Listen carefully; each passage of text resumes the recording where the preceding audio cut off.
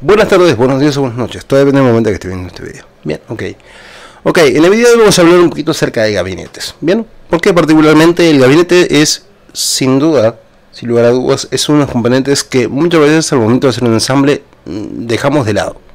Bien, suele ser el eterno olvidado en los ensambles. Bien, incluso, eh, y entonces lo que quería comentarles es qué tan importante es un gabinete. ¿Cuál es la importancia del gabinete? Bien. Eh, aunque bueno, particularmente quería comentarles también este, que de, momento mm, tengo que estar en casa, bien, voy a tener que estar encerrado en casa, por, eh, en este caso obviamente, por, no tan obviamente, sino que por el COVID, bien, aparentemente puedo tener, estar en contagio de COVID y bueno, tengo que, en estos días tengo que estar acá, me van a hacer el hisopado, bueno, venir hasta aquí a hacerme el hisopado y después tengo que esperar unos días eh, unos 7 días más. Si da negativo, tengo que esperar 7 días más para tener un segundo hisopado y que me vuelva a dar negativo. Bien, y en, en otro caso, que me positivo, tengo que esperar 15 días. Bien, por lo tanto, yo voy a estar encerrado durante los próximos mínimo 7, 7 días. En este caso, mínimo, sí, mínimo 7 días, voy a estar encerrado aquí en mi casa. Bien. Así que eh, en principio seguramente lo eso voy a hacer que voy a poder subir vídeos un poco más seguido porque bueno con el trabajo no puedo no puedo, no, puedo grabar muchos vídeos tampoco bien pero bueno mm, mal para mí porque no voy a poder, no voy a poder grabar más vídeos pero bien un poquito para ustedes porque seguramente van a tener más contenido bien por lo menos en estos días bien eh, y bueno vamos a hablar ya en este caso vamos a meternos un poquito en tema que es con el gabinete. Bien. Em, el gabinete en principio debería ser el, debería ser el componente mm, que primero elijamos. O, el, componente más importante al momento de armar un, ensamble. ¿Por qué? Porque el gabinete es al fin y al cabo es lo que nos limita, qué componente, o sea, el gabinete es lo que nos limita qué hardware vamos a poder poner en parte interior. Y además también nos está limitando también en esa forma eh, un gabinete malo nos limita también la refrigeración. O sea, primera cosa, las madres, en este caso, los componentes internos, como podría ser la tarjeta gráfica, bien, tiene un tamaño, bien, dependiendo de la, de la, categoría o dependiendo de la calidad, va a tener un tamaño. Bien, esto es una GTX 480. Esta gráfica es una gráfica que no cae en cualquier gabinete. Bien, si yo quisiera comprar, si yo quiero armar un ensamble con esta, con esta gráfica, precisaría un gabinete de un tamaño bastante grande. Bien, Primero que nada por el hecho de, que es, una placa bastante larga. Bien. Son, es de la placa más larga que hay básicamente. Bien. Pero además también es una placa bastante pesada. Bien, por lo tanto, en este caso, además de que te, tengo que elegir una mother que lo soporte, que lo soporte, bien, ya no, solo que tenga el puerto correcto, sino que tenga un refuerzo, en este caso, que pueda soportar el peso de esto, sino también tengo que elegir un gabinete que el gabinete tenga, en este caso, el suficiente largo y la suficiente fuerza, en este caso, o la suficiente robustez para soportar una, gráfica como esta. Y también tendría que estar pensando en el hecho de que seguramente voy a tener, eh, si la, gráfica va a estar de esta forma, bien, va a estar inclinada, bien, si va a estar así, bien, como está normalmente en un gabinete, tengo que poner algún tipo de sujeción aquí abajo en la parte baja, bien, para que justamente no doble ni el puerto PCI ni en este caso ni pueda en este caso pueda eh, doblar la propia mother bien que puede, pasar de hecho yo he visto placas que tienen he visto mothers que tienen gráficas muy grandes y que justamente tienen esa deformación están deformadas eh, físicamente bien o sea que se han doblado incluso se han roto el propio puerto PCI Express bien pero más allá de eso, también está la, parte de la refrigeración. Bien, en este caso, eh, primero que nada, digamos, digamos lo, que es la madre, de qué tamaño va, de cuál es el tamaño máximo que vamos a tener una madre. Bien, si yo compro un gabinete ATX, bien, por ejemplo, va a soportar más micro ATX, mini ATX y seguramente ATX también. Pero hay, hay o sea, a día de hoy, por ejemplo, podemos decir que hay varios estándares lo que tiene que ver con gabinetes. Tenemos los, los gabinetes micro ATX, los ATX, los, eh, y en este caso los extendida ATX. Bien, o mm, por lo general los ATX son los más grandes que hay. Y después también tenemos, actualmente tenemos un, tamaño más reducido que se llama mini, ITX, que son para madres muy pequeñas y para gráficas mm, de un tamaño medio, básicamente. Bien.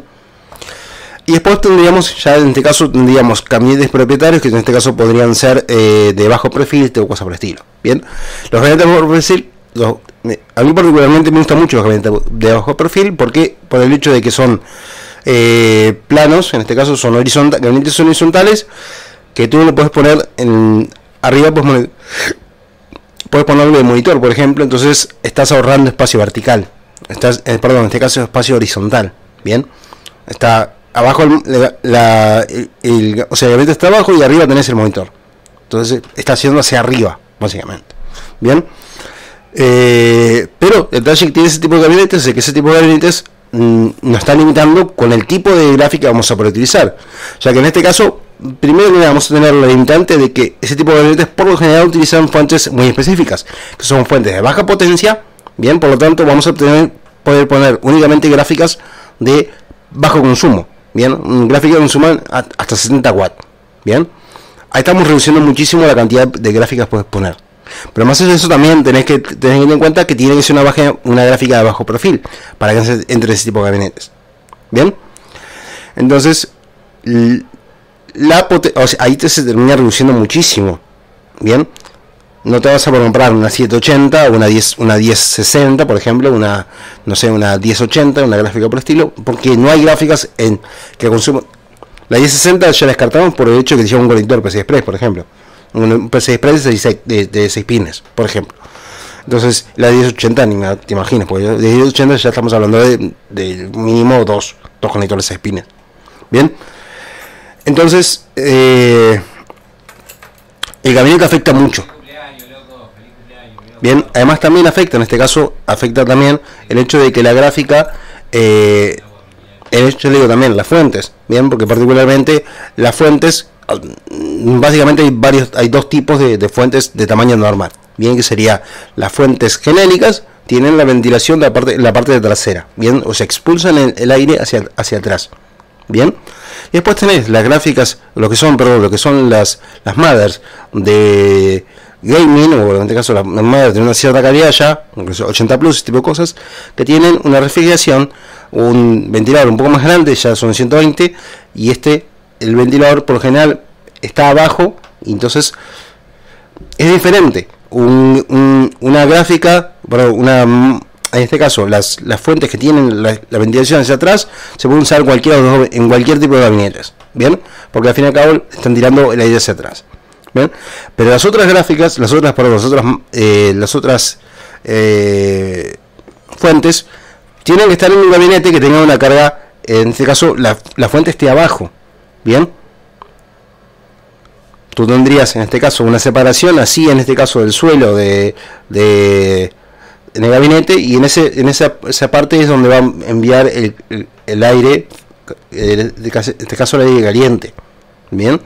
Si yo pusiera una, una, una, una, una, fuente de estas en la parte superior, le estaría tirando aire caliente al procesador o en este caso los componentes de la madre.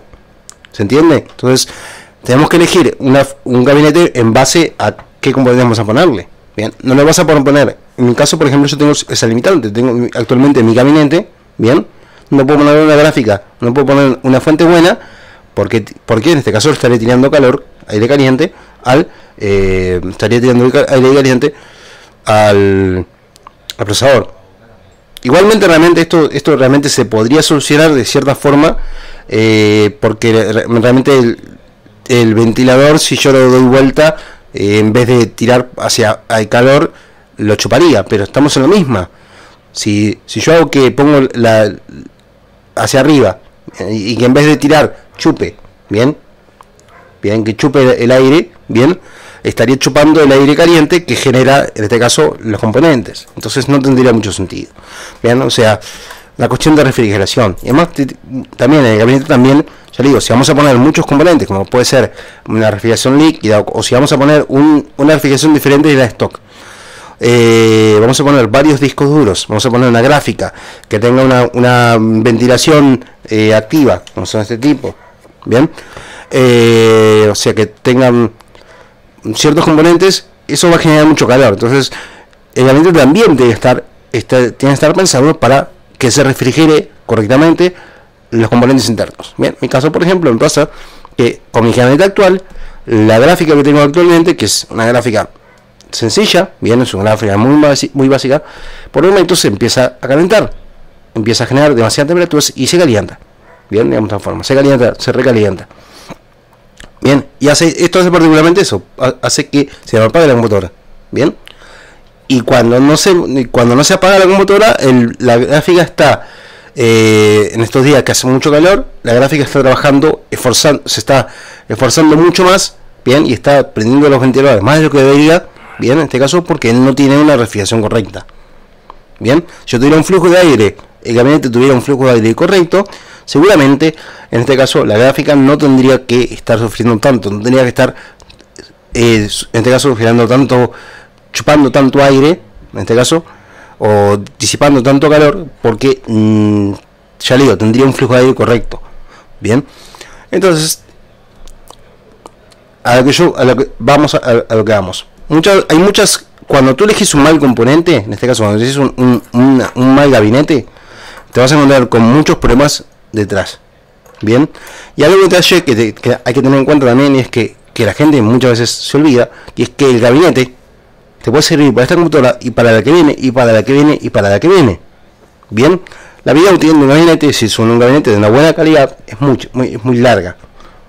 Bien, entonces yo puedo, si yo, eh, ya digo, yo puedo tener tres o cuatro computadoras simultáneas que simplemente cambian algunos componentes, en este caso sería el el procesador y RAM, bien, y la gráfica, o cosas por el estilo, y hay ciertos componentes que se pueden reutilizar, como en este caso como son los discos, y como son discos o, tipo, cualquier tipo de almacenamiento, eh, y la, la, fuente, e incluso el, gabinete en este caso. Bien, entonces yo pienso que el gabinete en este caso debería ser una, es una inversión inicial, gastarte lo que tengas que gastarte para este, tener un buen gabinete y que después sí, con el paso del tiempo, en este caso, eh, cada vez que vayas comprando una nueva computadora o compras una siguiente computadora, simplemente cambiar, recambiar esos componentes, que serían Microsoft RAM, bien, y vas a poner la gráfica también, pero el gabinete y la fuente se pueden dejar. Entonces, no es que es un gasto innecesario el gabinete, porque ya digo, si te va a durar 20 años igualmente, bien, si igualmente el gabinete te puede durar 20 años, no es un gasto tan necesario.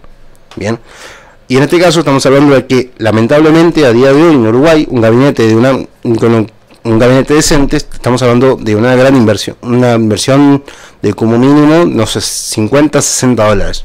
Bien yo puedo entender que en este caso tú hacer un ensamble de, bajo costo, bien, o sea, si quieres ahorrar, capaz que no vas a pensar en gastar 60 dólares o 70 dólares en un gabinete. ya le digo, es eso. Quizás pensar comprarte el gabinete un poco más barato, de segunda mano, bien, o en este caso ya digo, pensar en que esto te va a servir a futuro que cuando vayas a comprar la próxima computadora vas a seguir usando la misma gráfica. Lo mismo podemos comentar en este caso de la fuente. Bien. Ahora sí, nos vemos en la próxima. Hasta luego. Hasta luego.